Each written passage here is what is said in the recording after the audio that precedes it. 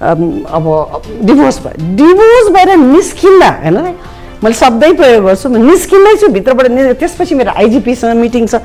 निस्किँदैछु निस्किँदाखेरि मेरो पिएचडी गरेर लोनेले हात उचालेर के भन्छ ल जा फ्री भइस अब जोसँग पनि सुत्न जान सक्छस् भनेर भन्छ। अदालतकै ढोकामा। अदालतको ढोकामा पिएचडी गरे मान्छेले। पिएचडी गरे मान्छेले। आर्थिक रूपले सशक्त मान्छेलाई। वाट इज दस त हो ल जान्छु म जहाँसुकै भनेर निस्केँ। बाहिर अदालतले थुचुक्कै बसेँ क्या एउटा बेन्चमा। डक्टर अनिता श्रेष्ठ मसँगै थियो। पानी खाएँ। अनि मैले आफूले सोचेँ अब मैले आइजिपीसँग कुरा चाहिँ के गर्ने? म हिंसा विरुद्ध कुरा गर्न भनेर जाँदैछु। अदालतमा पिएचडी गरेको एउटा मान्छेले होइन? अदालतमा मलाई यो शब्द प्रयोग गर्छ। बराबरीको अधिकार बराबरीको बराबरीको सम्मानको स्थिति श्रमलाई अहिले श्रमको प्रश्न उठिरहेछ नि।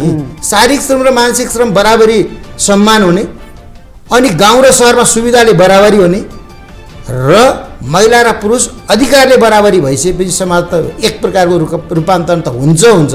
हामीभित्रको सोच परिवर्तन नहुँदासम्म चाहिँ कानुनले मात्रै आर्थिक सशक्तिकरणले मात्रै पनि हुँदो रहेन रहेछ भनेर भन्ने चाहिँ एकदमै स्पष्ट देखियो। अब त्यो बुहारीलाई तर्साउनलाई हिटरमा त्यो बुहारीको डेढ वर्षको बच्चालाई यसरी राखेर।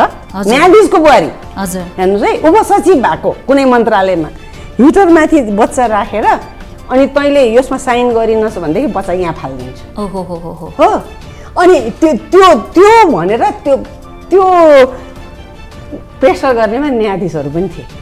अनि त्यहाँनिर एकजना महिला आउनुभयो प्रेग्नेन्ट महिला आउनुभयो होइन? अनिखेरि आएर अनि कसलाई भेट्न आएको भन्दा छोरीलाई भेट्न आएको भनेर भन्यो होइन? उसको छोरी तेह्र वर्षको हाम्रो सेफ हाउसमा रहेछ। अनि लिएर आए हाम्रो स्टाफहरूले ल्याउँदाखेरि आमाको जत्रो पेट छ छोरीको पनि त्यत्रै पेट छ प्रेग्नेन्ट होइन? तेह्र वर्षको तेह्र वर्षको बालिका। अनि यो के हो भनेर सोधेको त आमा त्यो छोरीलाई पनि बाउले प्रेग्नेन्ट बनाएको रहेछ। आफ्नै बाबुले आफ्नै बाउले हो? आमा पनि अब प्रेग्नेन्ट भयो है? अब हेर्नुहोस् है अब त्यो त्यो बच्चा तेह्र वर्षको बच्चा अहिले अब दुई महिनापछि बच्चा पाउनेवाला छ क्या? सजायको सवाल होइन। कस्तो पनि घटना घट्दो त्यसैले अपराधीहरू जुन कुनै ठाउँ उम्रिन सक्छन् तिनलाई दण्ड दिने गरी संवैधानिक व्यवस्था हुनुपर्छ कानुनी व्यवस्था हुनुपर्छ र कार्यान्वयन गर्ने मान्छेले है फेरि। कुनै पनि केसमा अहिलेसम्म मैले हेरेको महिला हिंसाको केसमा खास गरी समुदायको केसमा कुनै पनि केसमा कुनै न कुनै एउटा राजनीतिक पार्टीले मलाई दबाब नदिएको छैन। संरक्षक संरक्षकको रूपमा नै शनिबार राति नौ बजे मात्र माउन्टेन टेलिभिजन यस टिममा